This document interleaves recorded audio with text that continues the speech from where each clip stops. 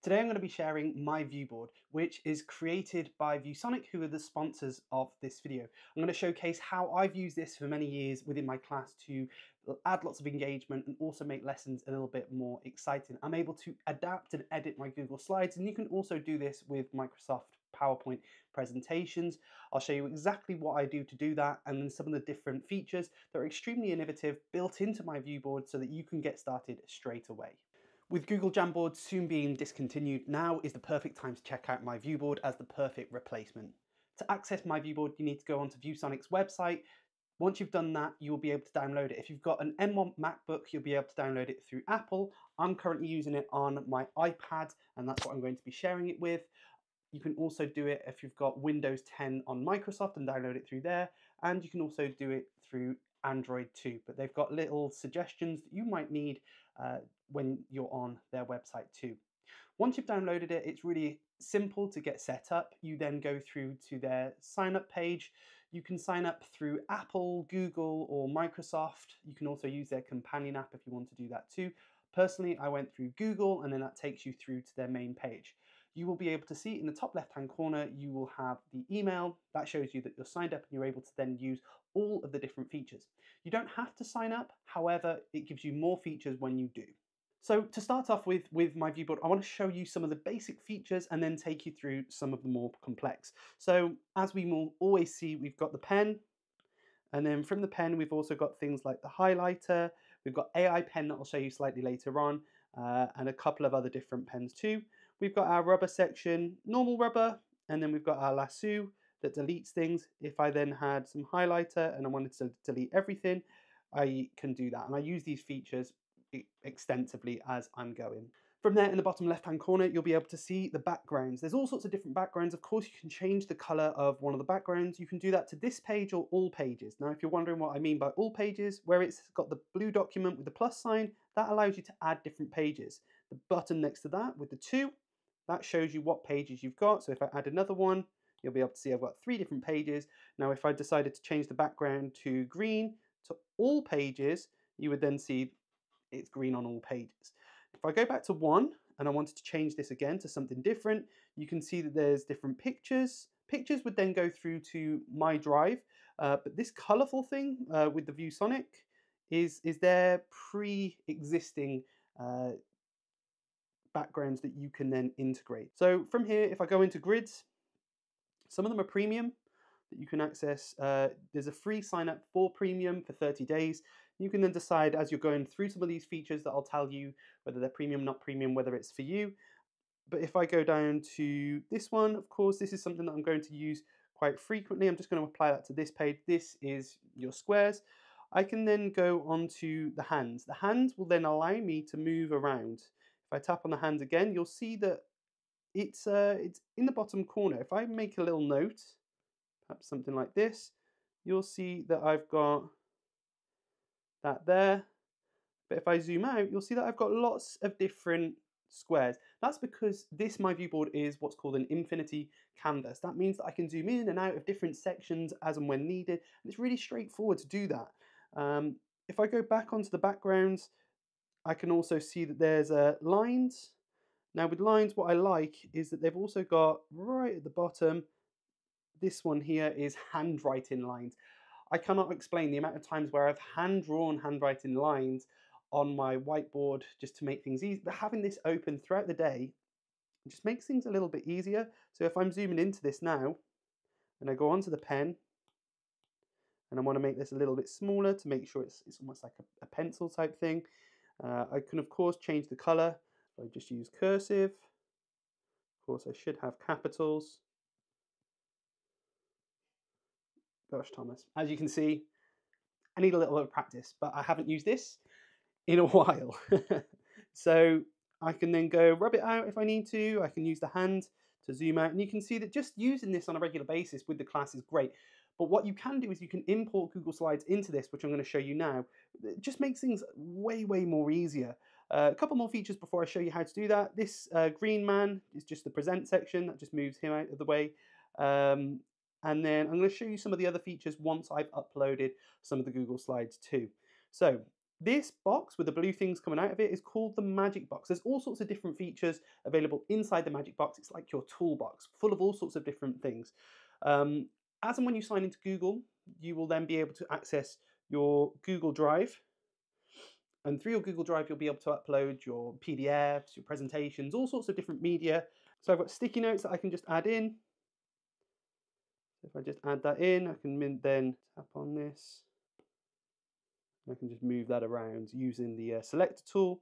Um, I've got all sorts of mathematical tools that I'm going to show you slightly later on. This here is the camera. I'm going to show you break the fourth wall here and uh, show you my uh, front camera. There we go. So you can see I'm looking at myself the things behind. So I'm just going to click off that. I could take a screenshot of that camera, insert it straight away. And as you can see here, I can also do that through the uh, my viewboard too. So that's inputted that. Or if I want to get rid of or move those, I can do that. I can change the layering of them. Uh, there's different elements that I can add into. So for example, I want to add in an arrow. just add that in in the corner right up there. And then I can just change where I put that. I can make it bigger, smaller, flip it round if I wanted to, add a different one in. Um, if I wanted to uh, change this, I can copy it and I can uh, paste that as well. Uh, if I wanted to lock that into place, I can lock it. I can spin it using the little spinner button. And we can see it spinning, spinning, spinning, spinning. And then I can save, if I press the little cloud with the up arrow, I would be able to just save that as well. I can cut that out and then I'll be able to paste that slightly later on if I wanted to do that uh, too. So now I'm going to show you how to upload Google Slides.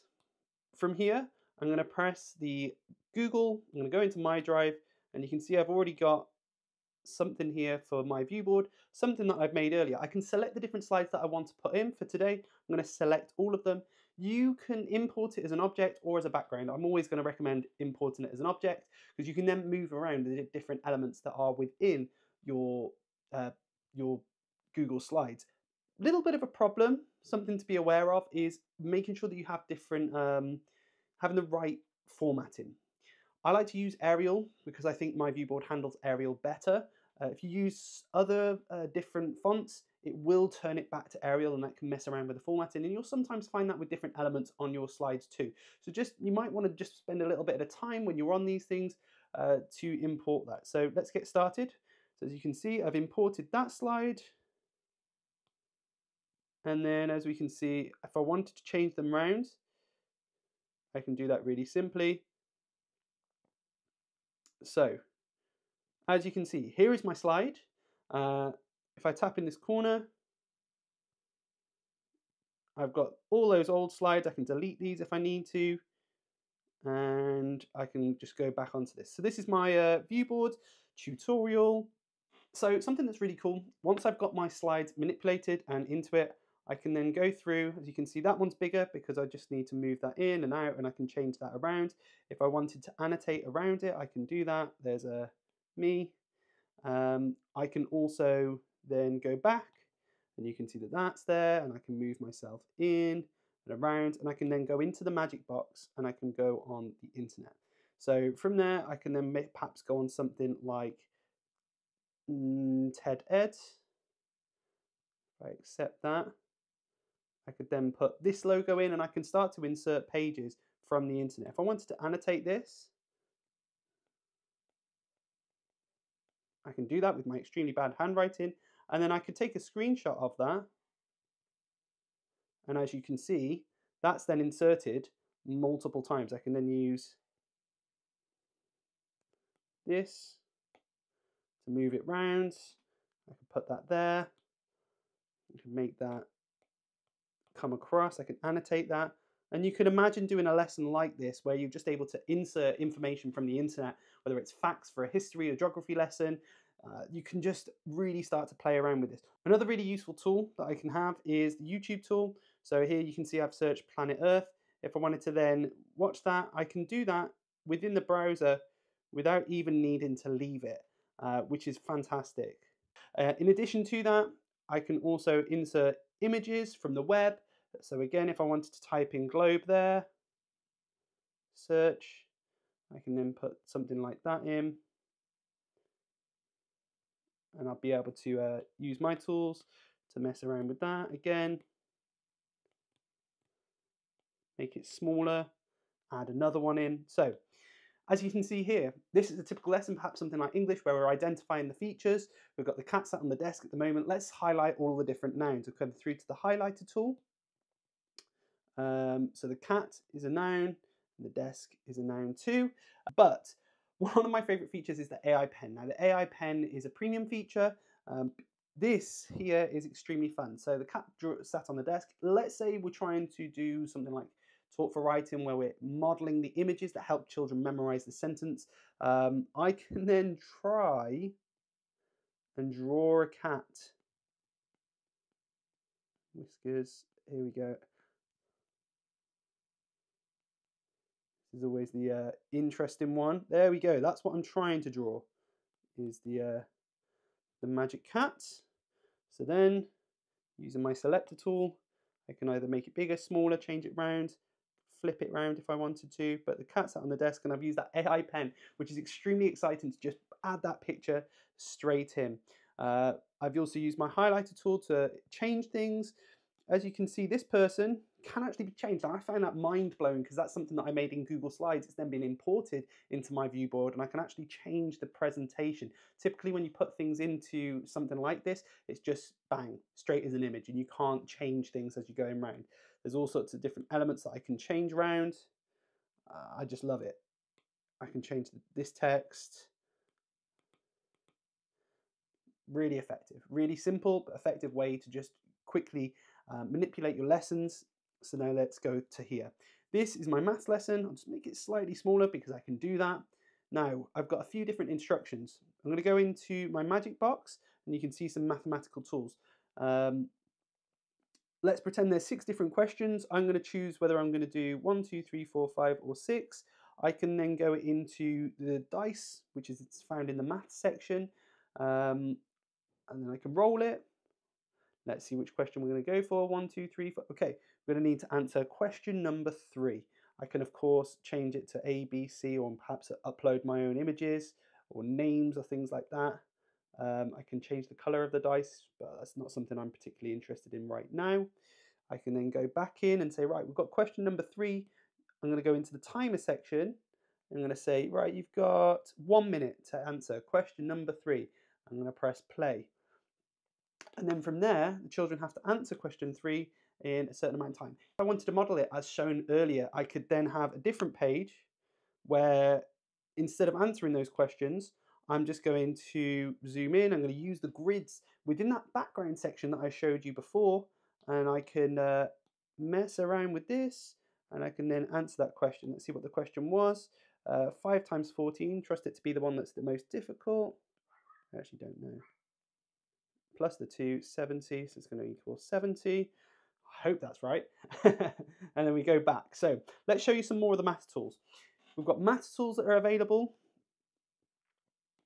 you've got um, a calculator, so I could then go back, check that question, 5 times 14 equals 70, happy days, I'm not fired today. Um, if I wanted to go into other tools that are available, protractor, so if we're doing an angles lesson, that's great.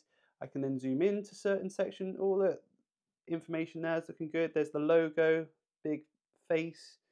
Um, I can also go on to ruler, little hack that I really like with the ruler, which is quite cool, is if you have your ruler lined up and then you go into the pen, when you do that, it's going to line it up. I just find, I think that's really quite smart.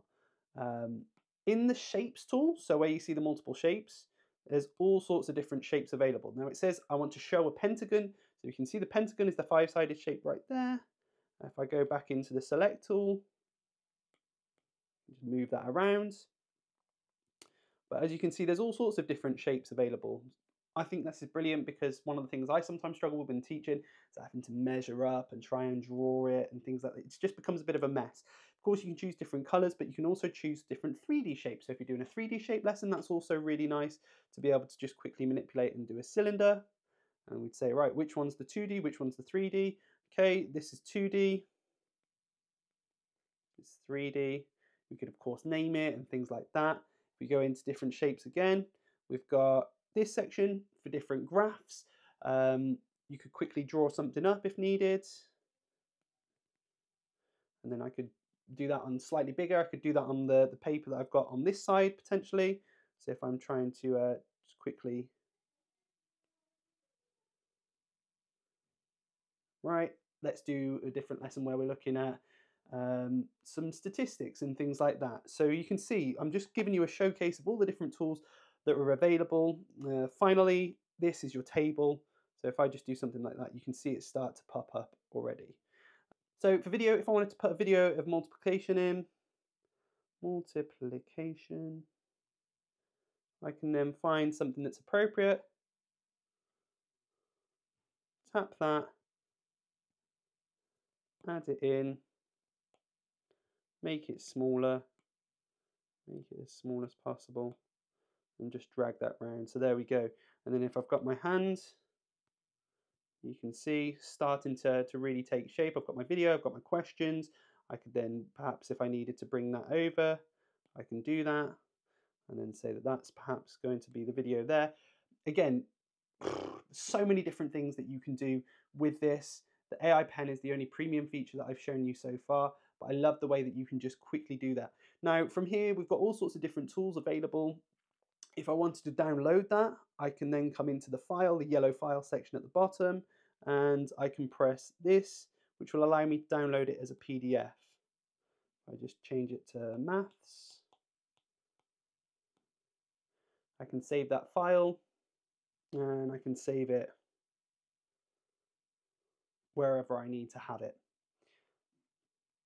In addition to that, if I wanted to share this with everyone with a QR code, I would just let it process and what that's doing it's allowing me to process it so that when I share this with my pupils they can either just scan it with their device and it will pop up on their device or it's going to give me a short URL and with that short URL I'll also be able to pull that URL put it somewhere like Google Classroom uh, and then the children will be able to see all the different information as a PDF that we've done so far.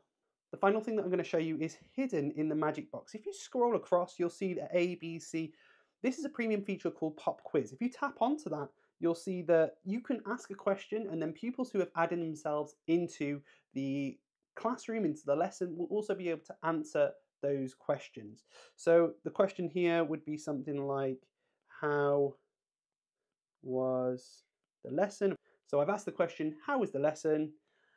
And then from there, the pupils can then go away and they would then be able to answer that question once I've shared it with them. There's all sorts of different ways that the children would then be able to answer that, share their responses, and then if I had more than one person signed into this, I would then be able to see their different responses integrated within this question.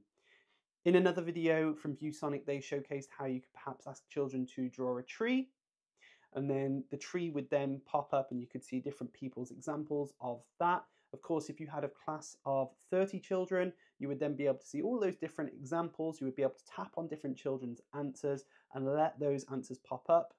In the notification area, right in the top hand corner, you were then able to see who's already answered that question and then receive those notifications from there. So there we go that gives you a whistle-stop tour of all of the different features available through my viewboard, which is available on ViewSonic. I also want to take this opportunity to say thank you once again to ViewSonic for sponsoring this video. Genuinely, this is something that I've used many, many times with my classes to be able to edit and manipulate Google Slides to show all sorts of different videos and features and bits of media too. So I definitely suggest that you just go sign up, check it out, see if it's worth it for you guys and I can guarantee that the different features available will blow your mind. ViewSonic also have an amazing educator community. Through there, you'll be able to find all sorts of technology tips to use inside your classroom. Definitely check it out. It's fantastic to be part of such a valuable community that can offer you support in the classroom too. Hopefully you've enjoyed the video. If you have, feel free to subscribe to the channel, like it as normal, and hopefully I will see you in another one. Until then, I'm out.